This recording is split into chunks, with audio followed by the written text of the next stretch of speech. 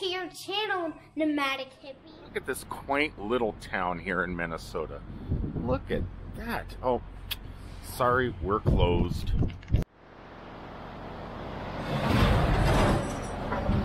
What a cool little town. Lots of truck traffic though, because we're coming off of a hill there. But I was passing by this town earlier this month, and I told Tommy Travels about this place, and I said, you should probably come and stop here. Not only does it look like they have a pretty amazing museum, and some definitely awesome murals on the sides of the wall, but my very first time passing through this town, I noticed something that I said, you know what? I gotta stop and check this out, Doc. Ooh, masks. I was driving down this road and I noticed something tucked away in this little corner up here. I thought you guys might find fascinating. Guys, take a look at this.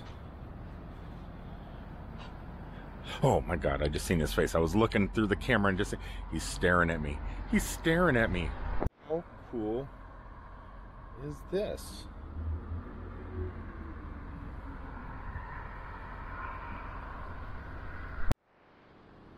just tucked away here. Right beside this building that became a historical landmark in 1877. Purple chairs there right outside of a beautiful mural next to a little red Corvette. This is called Prince's Garden. How cool. In the mailbox. 1999. Live to see the dream. How cool is this? On the streets, it looks like there's probably quite a bit of unique stuff here. Definitely would like to explore this town a little bit more, but I can't today.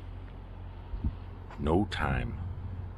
Back in my truck though, I'm walking across the street and it says, Welcome Prince fans.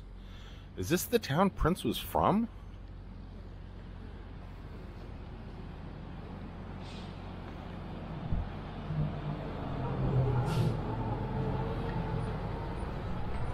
Henderson, Minnesota?